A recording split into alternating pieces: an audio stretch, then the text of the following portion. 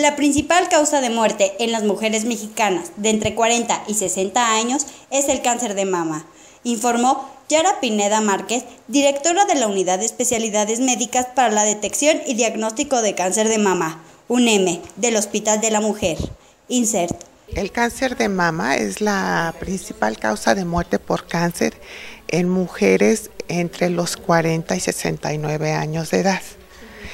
En México es muy frecuente, de cada ocho mujeres, una va a ser cáncer en su vida, que es un porcentaje muy alto. Pero el cáncer de mama tiene una característica que es curable. Es curable sobre todo si se detecta a tiempo. En Michoacán, el registro de descensos por cáncer de mama es de 37, informó Marilis Herrera Origel, directora estatal de cáncer en la mujer.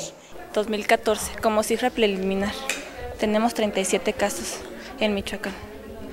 El propósito de la UNEM es crear conciencia en las mujeres acerca de los estudios de las mastografías para prevenir o detectar a tiempo la enfermedad. La idea de estas UNEMs para detección de cáncer de mama, más que prevenirlo, porque prevenir un cáncer es muy difícil porque todavía no sabemos exactamente qué es lo que lo desencadena, es hacer una detección temprana.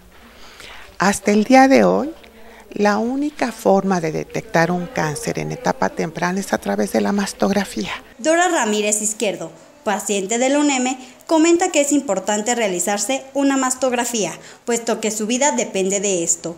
Es algo importante.